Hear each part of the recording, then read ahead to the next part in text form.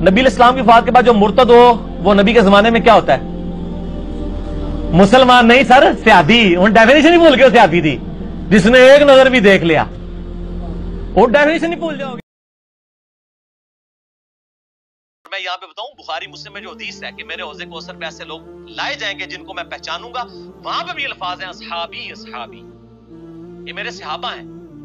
मुझे बताया जाएगा, आपके बाद इन्होंने दीन बदल दिया। अब्दुल्ला इब्ने अभी मुलैका कहते हैं। जब भी हदीस बयान करते थे, बुखारी के अल्फाज हैं अल्लाह, हम तुझसे दुआ करते हैं, तेरे नबी के बाद तेरे नबी के दीन से उल्टे कदम ना फिरे, सल्लल्लाहु अलैहि वसल्लम। और इब्ने अब्बास का कौल है सही बुखारी में कि इनसे मुराद वो लोग हैं जो नबी इस्लाम की वफात के बाद मुर्तद हो गए थे। नबी इस्लाम की वफात के बाद जो मुर्तद हो, वो नबी के जमाने में क्या होता है?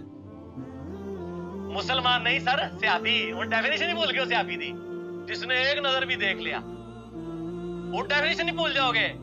सियाबी होता है। मुसलमान नहीं।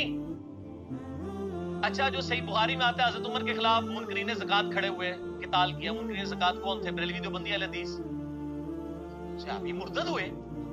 सियाबी की डेफिनेशन है, जिसने ईमान की हालत नजूर को देखा सोबत की, फिर मरते दम तक ईमान पे कायम रहा। आपकी मुबारक ज़िंदगी में भी कई मुर्तद हुए मसला 96 मेरा देखें, सर इसीलिए पूरा मुकदमा समझा करें।